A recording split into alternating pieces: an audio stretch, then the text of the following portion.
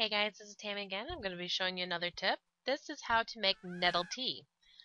Now, we're here in Draynor at the jailhouse. On the back part of it, you'll see some nettles. Make sure you have leather gloves on, and you will be attacked by the guards too if you are low level.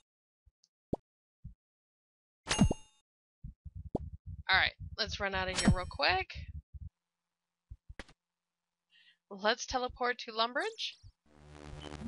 Now that we're here in Lumbridge, we'll go in here to the kitchen. Now, make sure you grab a bowl and you fill it with water. And what you do is you will take your nettle and you put it into your bowl. You'll click on it and use on the stove. Now you have nettle tea.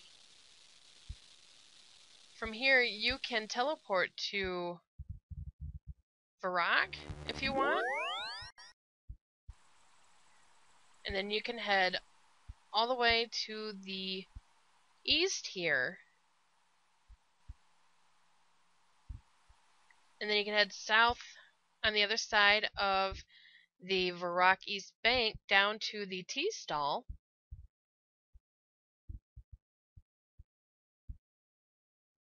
You can come over here and you can click on here to thieve from it. You can drink the tea and you can use the tea on the bowl. And now you have a cup of tea, which is, if you examine it, it is a nice cup of nettle tea. So either way, you can leave it in the cup of tea or you can leave it in the bowl. Either way, we just made a cup of nettle tea. I hope this helps you guys. See you later.